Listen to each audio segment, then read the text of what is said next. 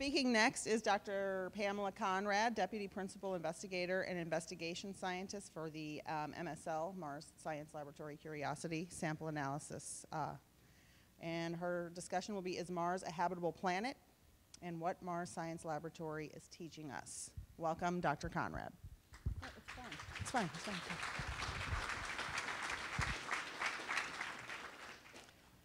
Thank you. So Curiosity has been on Mars for three years now, and it's kind of old hat. So given the audience, I'm going to skip over a lot of basic things about Mars Science Laboratory because I'm going to make the assumption you know them. And if you have a question, feel free to just shout it out either while I'm talking, and I will leave some room at the end as well.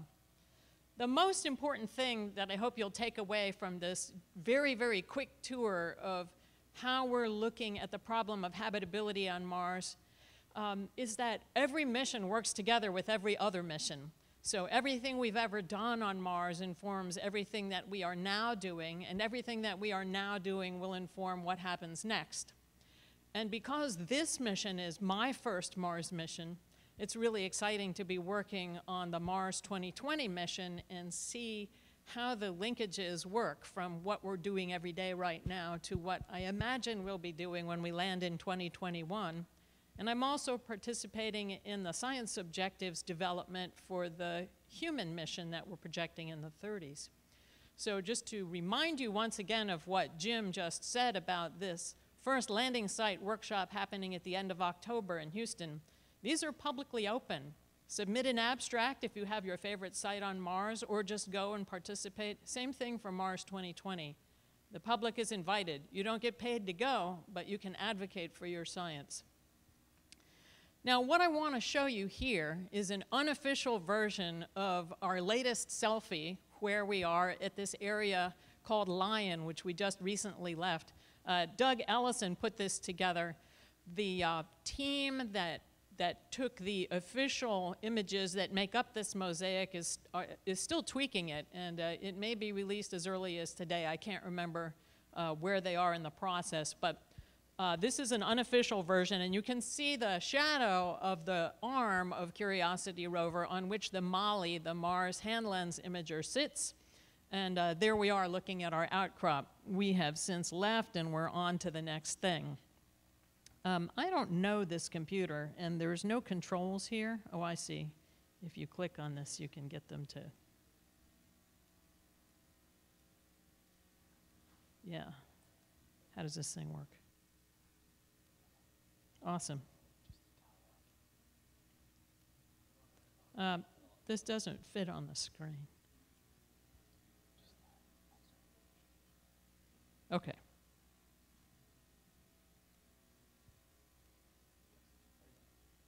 All right, so a very quick history of what we've been doing. When we landed, we took our time deciding what we were going to do, and we figured that the most interesting place to go was actually in the opposite direction of where we had planned to go. We planned to go up this central mound in Gale Crater, which we informally call Mount Sharp. Its official name is Aeolis Mons. And we went to this place, which was in the opposite direction, because it was a junction of three different types of rocks, and we thought we'd get a lot of bang for the buck to look at these contacts between these different types of rock. And we did. When we got there, we studied the mineralogy and the chemistry of the materials, and we determined from the mineralogy and the chemistry that at the time that material was deposited as sedimentary rock, the waters were relatively neutral the chemistry had no show-stopping awful stuff that would be um, an impediment to Earth life, and that if we use as a standard the most robust, cosmopolitan, and tolerant life that we have on Earth, which is microbial eucary uh, prokaryotes, this kind of environment might have been able to support such life, subaqueously, that is, in water. That doesn't mean we have proof of a habitable environment, but it means the chemistry and the mineralogy suggest that those conditions would be supportable for life. If you look at the list that I have here of the kinds of environmental requirements for life. What you see in the red one is the highlight chemical, and that's because that's what we were able to measure. We can, to some extent, measure spatial characteristics, but we have a very hard time going back in time to look at the physics of the environment. And that should be of particular interest to you given the last talk where everything went to hell because of the physics, the abrasion, the wind, the power of physics to constrain the chemistry that we need to conduct to be alive is significant. So we can't forget to measure the physical aspects of the environment when we're looking for the requirements for habitability. When you look at the parts where it says spatial and temporal, that will become clear in a second what I mean by that. Some of the chemical requirements that uh, are typified when we talk about these things on Earth have to do with what chemical elements living things tend to use. There's a long list of dependencies. You need certain chemical elements to make certain kinds of compounds. To make certain kinds of chemical bonds, you need a certain set of environmental conditions. If you take a look on the left at this list of biological abundance chemistry, and then you take a look on the right at the crustal abundance, you'll see some differences. But the main message I want you to get from this is that you are where you live, and you make the life out of the chemicals that are available that aren't busy doing something else. So every time I give a talk about life on other planets or habitability of other planets, and somebody asks, couldn't you have silicon based life? I say, it's not impossible. But it's improbable because the silicon is busy. The silicate tetrahedron, which is the basis for silicate minerals, is so ubiquitously found throughout the observable universe. When we look at meteorites, we sil see silicate materials in there. So silicon is busy, and it gets bound really strongly, and it's energetically really expensive to take it out of the minerals. So carbon, which is available because it's found less often in these kinds of minerals, is a much better chemical element.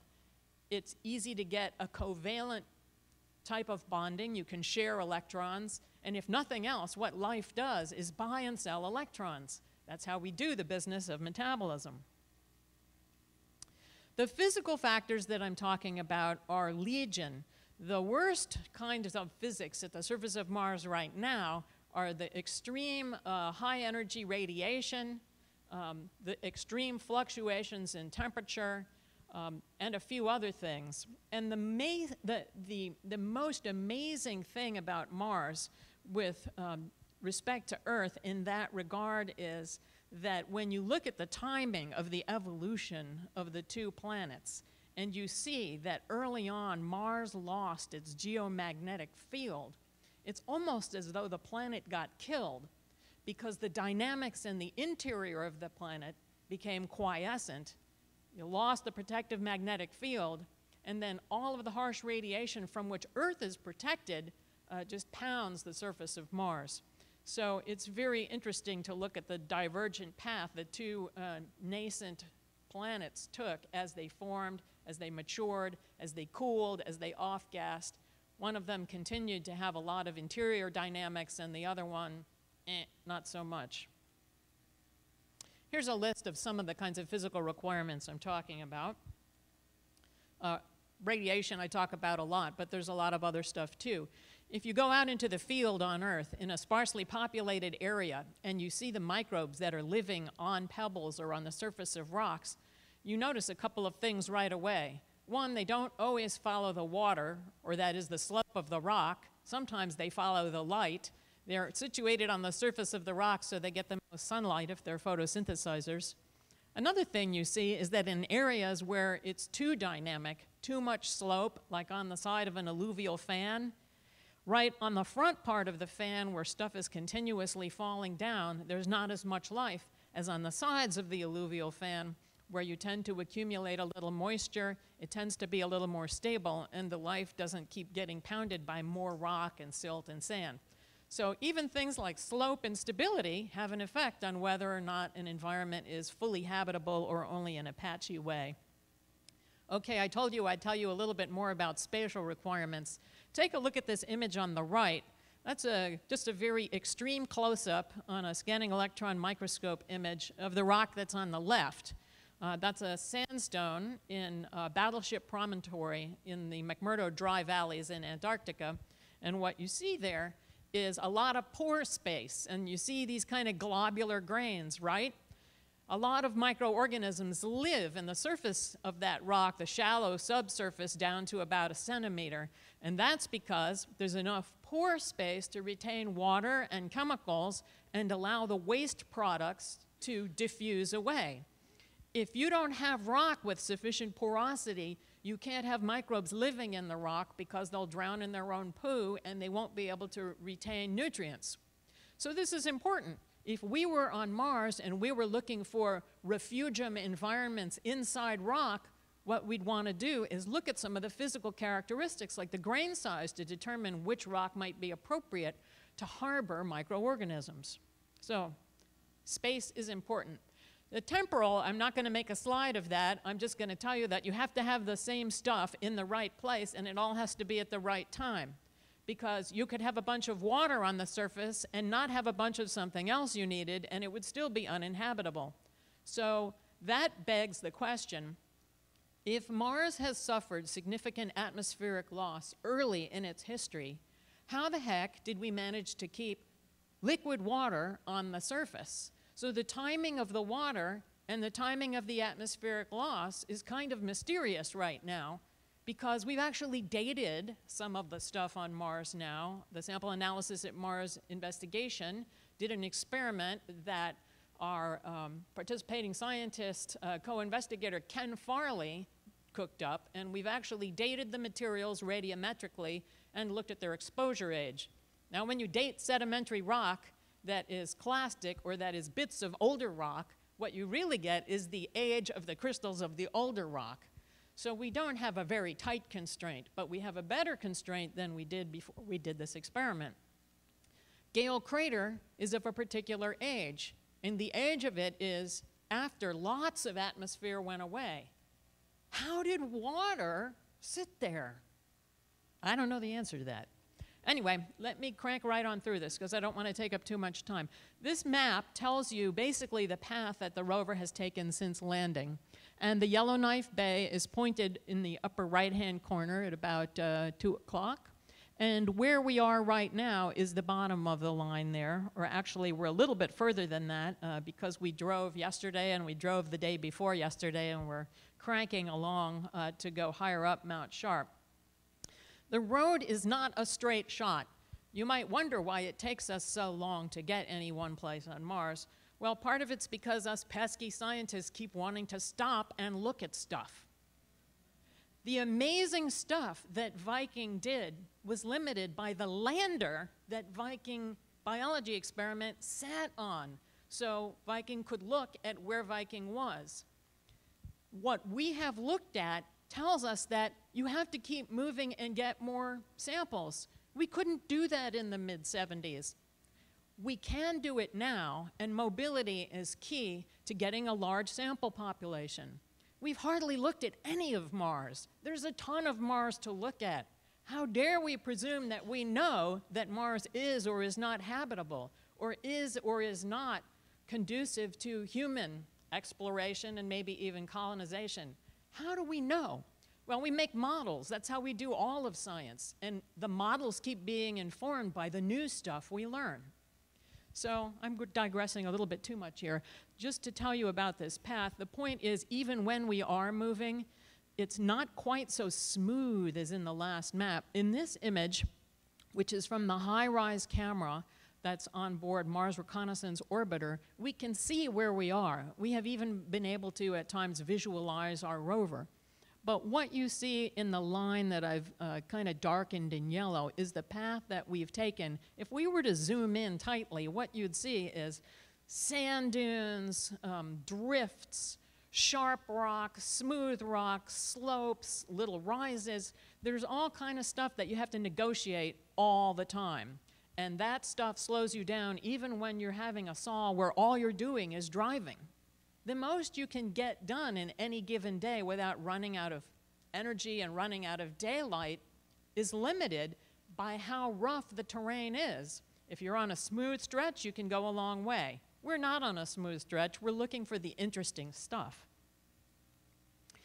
We recently explored an area uh, with a contact between two different rock types that are, is quite interesting because there are heavy amounts of veins that were injected through the rock, and we're trying to understand what this contact means. In geology, every time you see a distinct, uh, a distinct contact, it means there's been a change in conditions.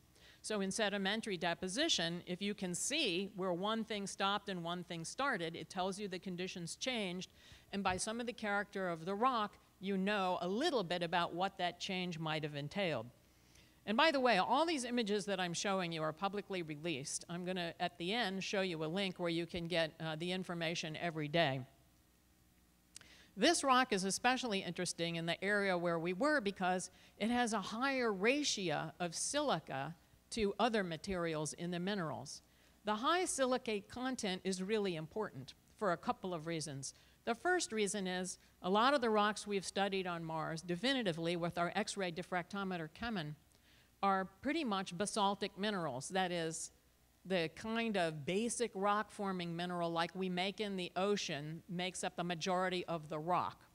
Basalt has lower silica content than some of the more evolved or fractionated rocks Every time you make a rock that's igneous, the leftover materials that haven't made it as a, into crystal form yet form the next kind of rock. And then as you make more and more rock, the more evolved the rock is, it tends to have more silica. So this is interesting because this rock has more silica. What precisely it means, we don't know yet. We're working on the scientific interpretation. Now we're moving, like I said, we drove yesterday, we drove today, uh, further and further uh, towards our, our goal, which is as high on Mount Sharp as we can get before we die.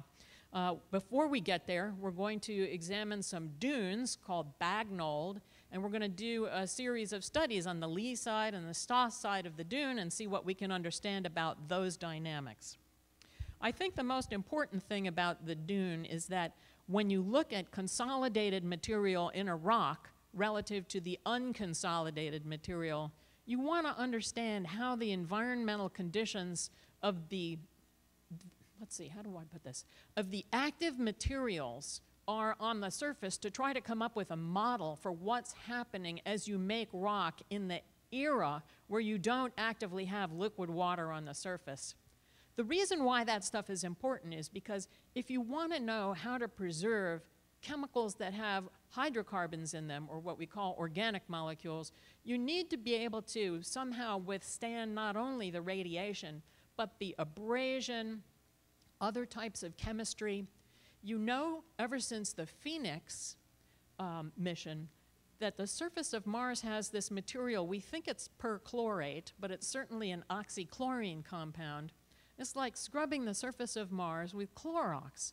But what's so interesting about that is every time we drill a hole, and this color is kind of weak in here, but can you see that the tailings of the hole are gray? I mean, this Clorox stuff, it's not really Clorox, okay, that's hypochlorite, but I like to call it Clorox. It, whether it's some kind of metal perchlorate or whether it's some other kinds of oxychlorine, oxidized chlorine, but not sodium chloride, which is table salt, that chlorine does a lot of damage. You know how water rusts a lot of stuff? Well, these oxychlorine compounds also do a similar kind of thing. They oxidize everything. So it's very harsh environment chemically as well as energetically from the cosmic rays and the UV. But look at this gray stuff. It's just under the surface. So this is just, this bad stuff is just skin deep there could be lots of cool stuff right under the surface. And by cool stuff, I mean the potential for a refugium environment for microbes. If there were microbes on the surface, before Mars became so harsh right at that surface atmosphere interface, they could have gone inside. So it's very encouraging to see this gray stuff every time we drill down. this is just a little update of what we've done recently. Um, right now, I told you we're driving, but that doesn't mean we're not doing science while we go. Our chemistry camera, otherwise known as ChemCam, which is a laser-induced breakdown spectrometer, zaps rocks at a distance and gives us an idea of their chemical components at the elemental level. We also have the uh, dynamic albedo of neutrons experiment, which is a Russian contributed instrument on Curiosity, and it pings neutrons down and tries to get a measure of the hydrogen, which is a proxy for water, and chlorine at a profile uh, about a meter under the rover. We also have the CheMin X-ray diffractometer, which is giving us definitive min mineralogy because we scooped up a bunch of that stuff that we drilled from the lion hole, and it's in the portioner in our arm. CheMin has already made several measurements, and it's analyzing the mineralogy. And we, even as we speak, are getting the tactical plan together to deliver some of this stuff to the sample analysis at Mars investigation, the one I work on, and the one Jen Stern will talk about in a couple of minutes. And then we'll take a look at that from the evolved gas uh, perspective to see what the chemistry is in those materials of the lion uh, sample. So I want to just give you a quick summary of how I look at the habitability potential of Mars, and then I'm going to um, stop and do the questions part because I wanted to give you ample time to talk about the habitability potential. First of all, I'll come out and say that I don't have high hopes for anything on the surface of Mars just now. That doesn't mean we might not have at one time, but it's not so good right now because of the radiation, because of this oxychlorine stuff and because of lots of other things that are challenging even to the most uh, tolerant microbes.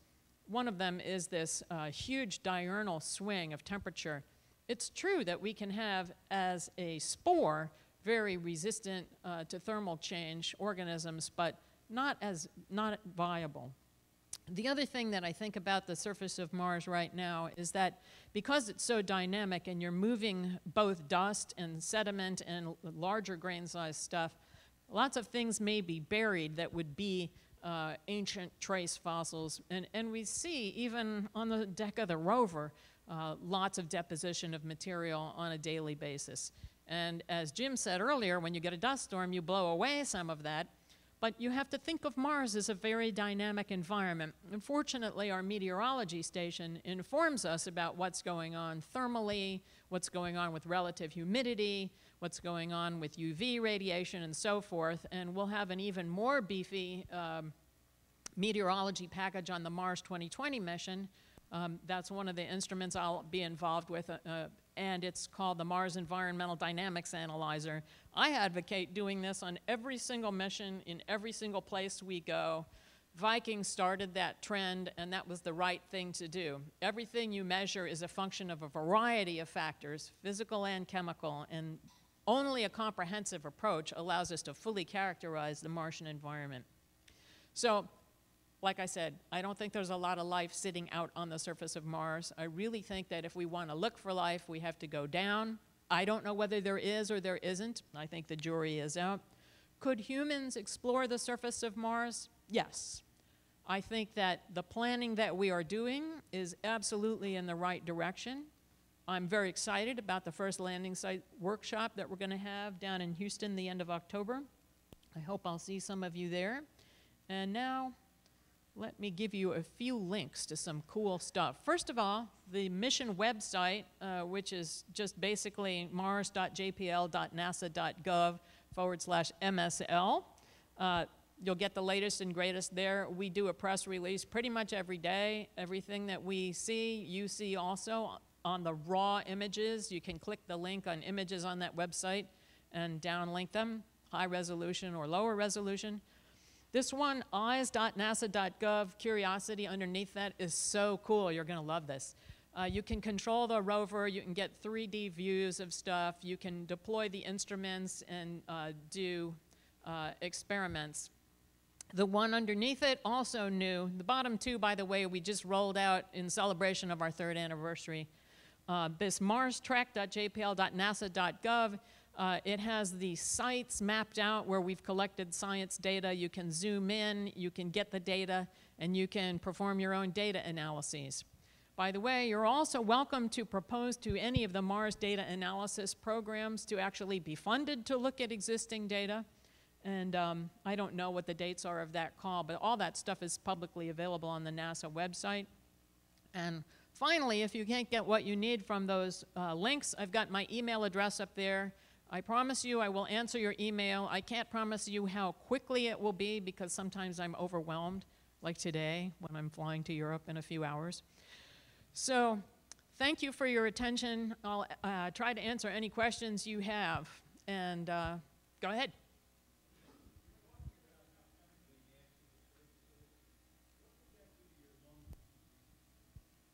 Well, he- here's the problem. First of all, the partial pressure of what we need out of the atmosphere uh, is very low on Mars. So, you know, mostly nitrogen here, but with a fair bit of oxygen. We can't get that from the Martian atmosphere. So, we wouldn't be just directly breathing Martian air. So, if, if you're talking about the silts and the dusts, silicate is going to damage human lungs on Mars just as much as it would damage it on Earth. So, you'd still need to filter it. And so, whether or not you're directly making air from locked up oxygen in rocks or whether you're filtering and enriching.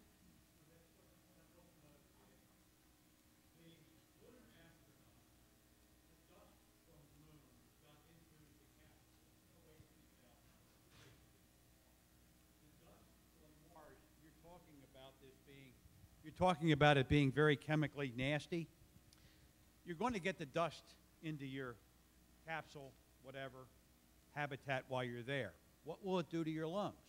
So the short answer is twofold. The, the part A I answered, which is that silicate dust is extremely dangerous. The second part, which is the oxychlorine material on it, is an oxidant. So the same thing that happens on Earth would happen on Mars. You don't want to breathe in oxidants.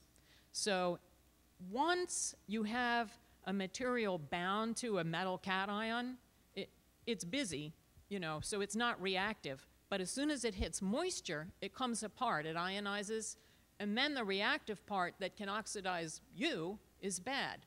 That's why we're always taking these antioxidant pills and stuff like that, because it chemically oxidizes us out of the business of metabolism. So, yes, you'd have to find a way of scrubbing. La- last question, please. Okay, uh, so looking at Mars as I've done for many years, it seems to be very rocky in most places. I'm, I'm, I'm very interested in sort of how much loose soil there is as you've been driving up Mount Sharp. I imagine there was more on the lowlands, less on the highlands, but just sort of because you know on Earth you get meters, tens of meters, hundreds of meters of relatively loose soil before you hit bedrock. What is it like on Mars? So that's a great question. And so there is no definitive answer right now because we don't drive in deep stuff for the reason that we don't want to get stuck in it. And so whenever we catch a, a, dune or something like that, we analyze it carefully. We do a wheel scuff before we go to make sure we won't sink in it. So how much regolith that's above the silt size fraction, we don't know yet. We try to get an idea of that by looking at something called thermal inertia uh, as we get global maps, uh, but until you get there, you don't have a completely unique answer to know whether it's depth or whether it's grain size. So. Next.